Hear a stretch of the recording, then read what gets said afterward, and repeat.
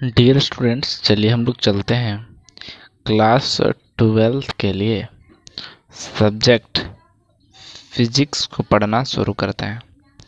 जैसा कि आप जानते होंगे, हम लोग फिजिक्स में पिछले क्लास में आवर्धन को पढ़ रहे थे और आवर्धन का फार्मूला को भी प्रूफ किए थे कि एम का फार्मूला माइनस भी बटा यू होता है और उस पर उससे रिलेटेड न्यूमेरिकल प्रॉब्लम को भी हम लोगों ने किया था।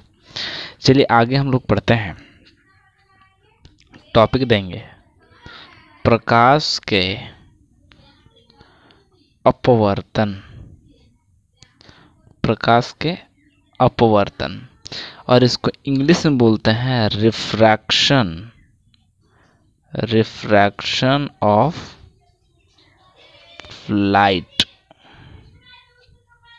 refraction of light चलिए तो अब हम लोग देखते हैं प्रकाश के अपवर्तन के बारे में। जैसा कि आप जानते हैं, प्रकाश के परावर्तन क्या है?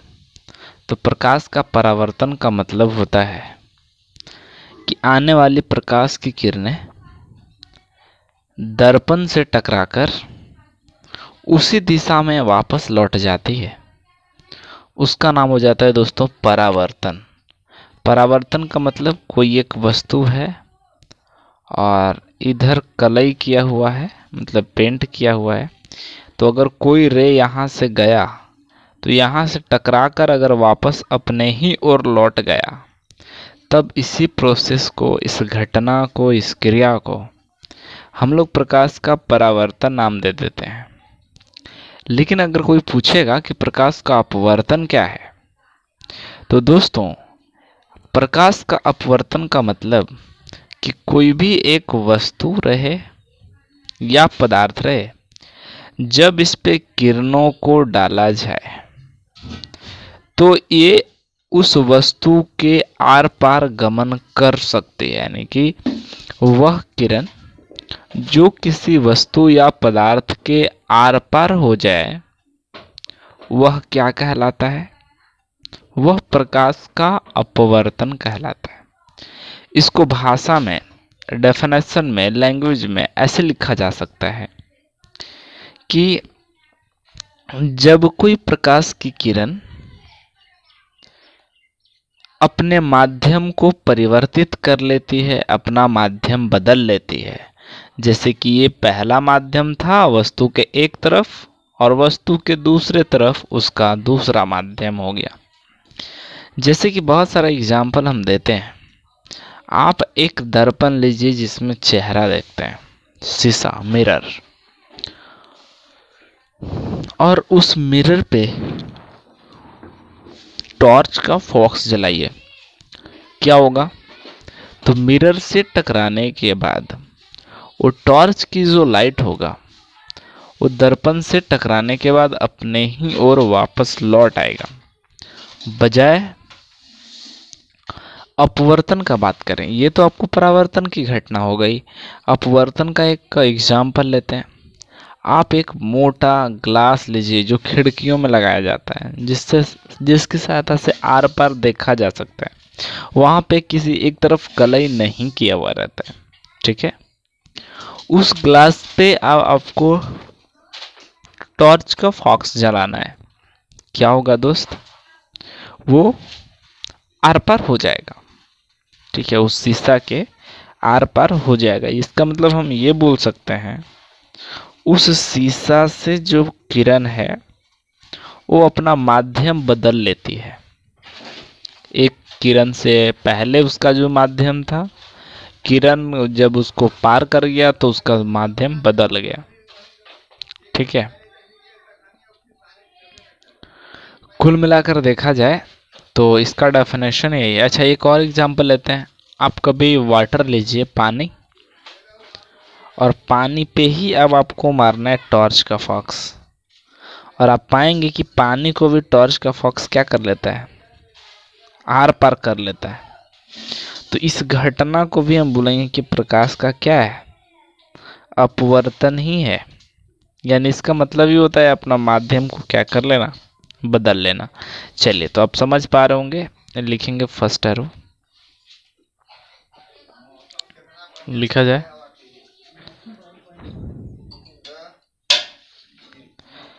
माध्यम के परिवर्तन से, माध्यम के परिवर्तन से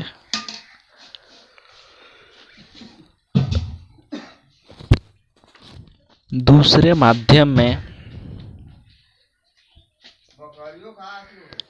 दूसरे माध्यम में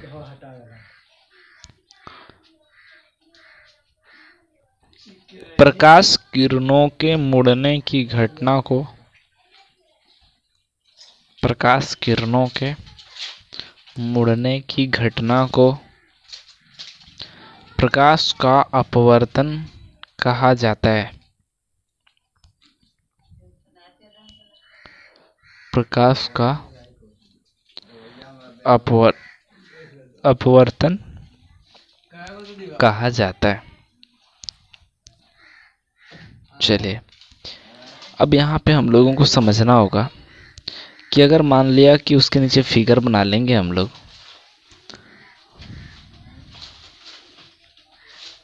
ठीक है, एक कोई वस्तु हो गया जिसका नाम ए बी है। और इस पर डाला गया अभिलंब हो गया। इसको डॉट डॉट से मिला लीजिएगा आप। वो पूरा हम मिला दिए। अगर कोई किरण इस पे डाला जाता है, ठीक है? तो यहाँ पे उसको सीधा जाना चाहिए था, सीधा निकलना चाहिए था, लेकिन वो सीधा नहीं निकलता है, थोड़ा सा मुड़ जाता है। देख पा रहे होंगे, ये हम लोगों को मुड़ कर निकला। तो यही प्रकाश की किरण, ये माध्यम वन है, जिसको म्यू वन कहते हैं। और ये म्यू टू है। म्यू वन, म्यू टू क्या है? तो ये पहला माध्यम है, और ये दूसरा माध्यम है। ठीक है, ये पहला माध्यम है, ये दूसरा माध्यम है। और ये हम लोगों का लंब अभिलंब है, जिसको एन और एन डैश कहते हैं। ठीक है? अच्छा इधर हम लोग अगर जो आने वाली किरणें हैं, उसको हम लोग बोल सकते हैं, आपतित कौन? ये आपतित किरण हो गया। जो आने वाली किरणें हैं, उसको हम लोग बोलते हैं आपतित किरण। लेकिन इस आई को हम लोग क्या बोलते हैं? आपतित कौन? आपतित कौन और ये जो इस पॉइंट से जहाँ पे सेंटर है, जहाँ पे वो किरणें डाली जा रही है, उससे जो निकलने वाली जो किरणें हैं, इसको बोला जाता है अपवर्तित किरण। और यहाँ पे एंगल आर इसको एंगल आर बोलते हैं। इसको बोलते हैं हम लोग अपवर्तन कोण। अपवर्तन कौन? ठीक है? तो ये हम लोगों का फिगर हो गया। अच्छा इसमें एक और होता है, सघन माध्यम और विरल माध्यम। ठीक है? सघन माध्यम होता है और विरल माध्यम होता है। को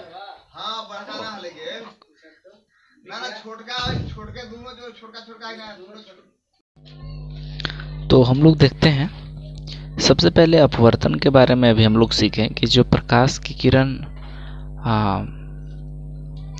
डाली जाती है किसी वस्तु पे तो अगर अपवर्तन होता है तो वो प्रकाश की किरणें क्या हो जाती हैं? मुड़ जाती हैं। ठीक है? अब यही प्रकाश की किरण जो मुड़ती है तो इसी घटना को हम लोग अपवर्तन कहते हैं। लेकिन नोट में करके लिखा जाए जैसा कि अभी जानते हैं, दो माध्यम होता है। एक वह माध्यम जहाँ से किरणें निकलती है और एक वह माध्यम जहाँ से किरणें प्राप्त की जाती हैं। ठीक है? तो चलिए नोट में करके पहला।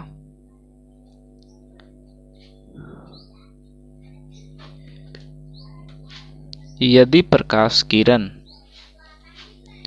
यदि प्रकाश किरण विरल माध्यम से, विरल माध्यम से, सघन माध्यम की ओर, विरल माध्यम से, सघन माध्यम की ओर,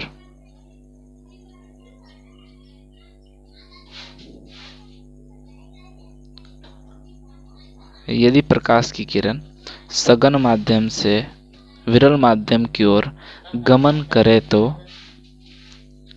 गमन करे तो अपवर्तन के बाद प्रकाश की किरणें। अपवर्तन के बाद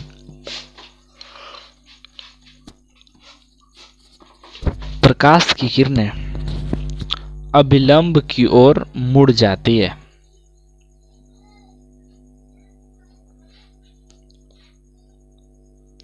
क्या लिखें? यदि प्रकाश की किरण विरल माध्यम से, पहला में विरल बोले ना?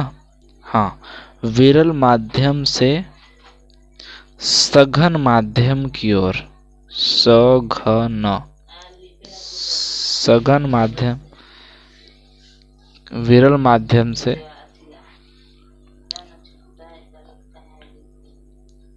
सघन माध्यम की ओर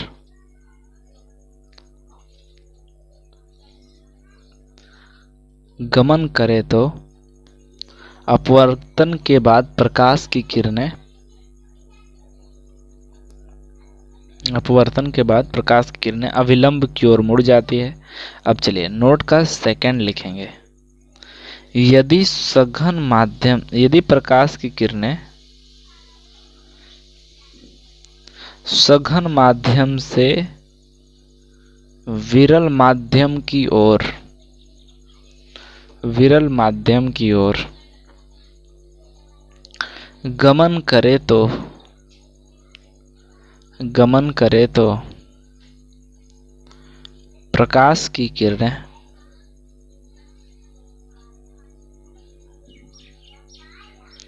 प्रकाश की किरणें अभिलंब से। अभिलंब से। दूर मुड़ती है। अभिलंब से दूर मुड़ती है। चलिए, अब हम इस बात को समझते हैं। जैसे भाई देख लो, एक यहाँ पे वस्तु है, इधर मेरा सघन माध्यम है और इधर विरल माध्यम है। अच्छा अब मामला ये समझ नहीं आता है कि सघन माध्यम किसको कहते हैं, विरल माध्यम किसको कहते हैं। सघन का मतलब घना, कड़ा, सबसे ज़्यादा कड़वा, और विरल का मतलब पतला। गड्ढा जाता है ना कि ये गड्ढा विलियन है, ये थोड़ा सा पतला विलियन है।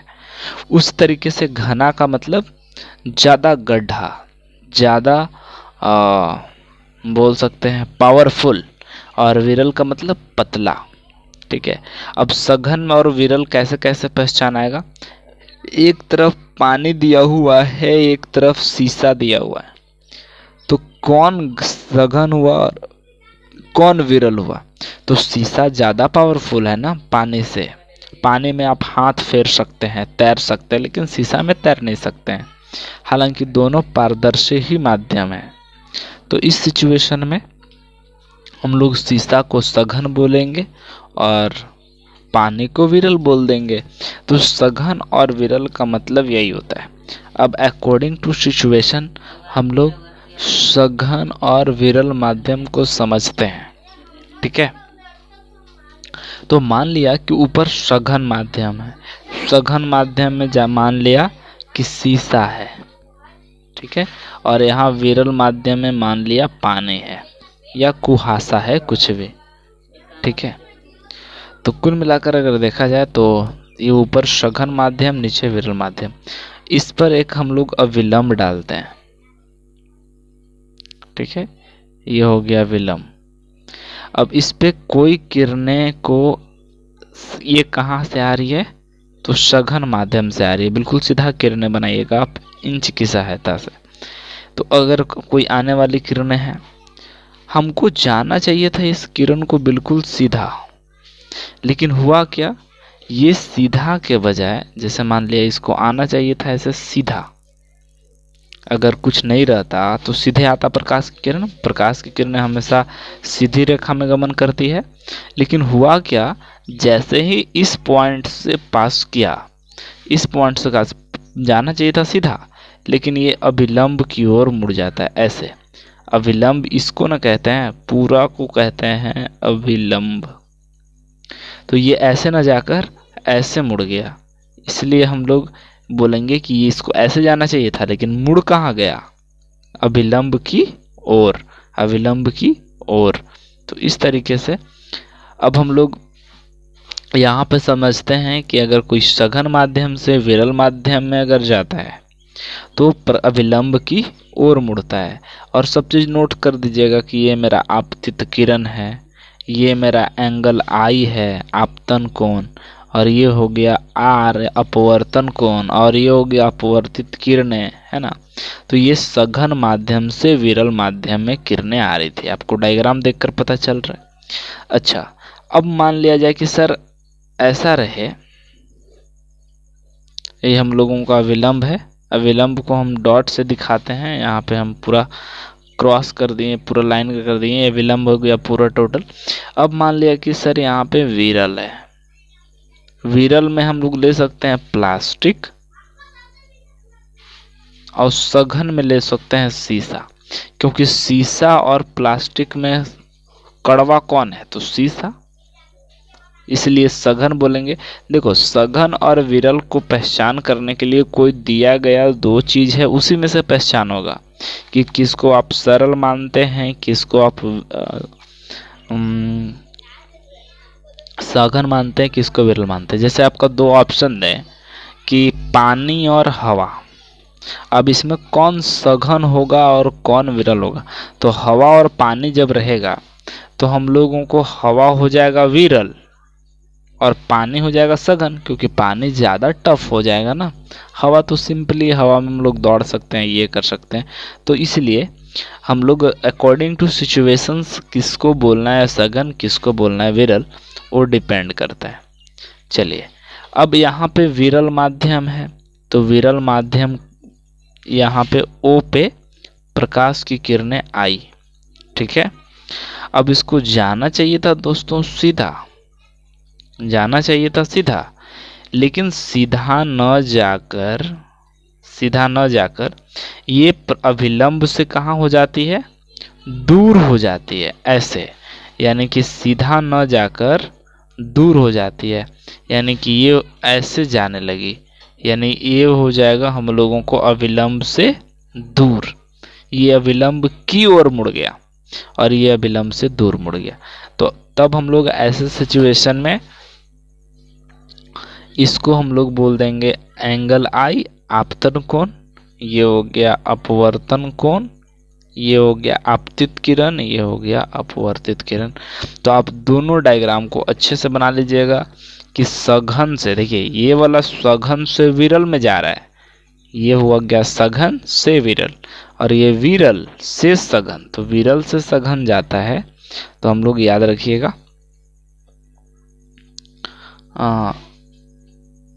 एक मिनट थोड़ा सा गड़बड़ हो गया।